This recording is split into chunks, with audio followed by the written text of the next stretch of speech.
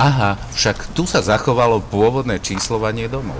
Sme na Alžbetinej ulici, ktorá sa však na zmetenie súpera i Košičanov volávala za každého režimu úplne inak. Tu sa odohrala obrovská love story, bývali tu slávni ľudia, boli tu žabie kúpele nielen pre žabky, a je to ulica druhá najdôležitejšia v meste, ktorá sa začína priamo pred domom svätej Alžbety. Celú Alžbetinú ulicu si prejdeme za 45 minút a do toho vám porozprávam jej jednotlivé zaujímavosti.